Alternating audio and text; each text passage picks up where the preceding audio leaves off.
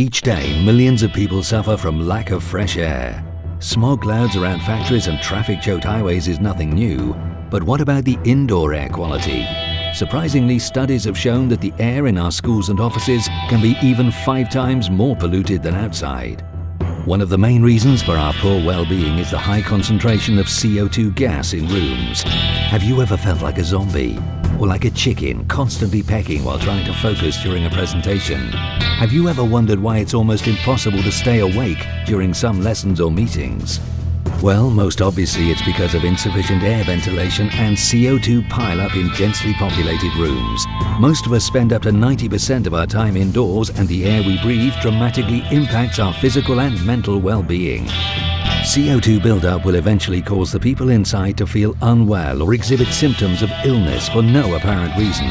They'll report eye irritation, headache and tiredness, all typical symptoms for those suffering from sick building syndrome. It's possible to test air quality by measuring its CO2 content. According to European Union recommendations, the CO2 level in any room should not exceed 1,000 parts per million. It might sound like a large number, but a typical school classroom reaches this limit within the first 10 to 15 minutes.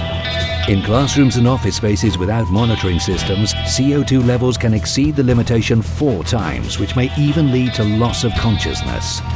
The impact of CO2 goes far beyond individual health risks. Studies have shown that working while ill costs over $150 billion in lost productivity in the US each year.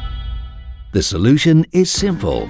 It's necessary to have a proper air circulation which can be achieved either by a good ventilation system or manually by opening doors and windows. The trick is to find a perfect balance.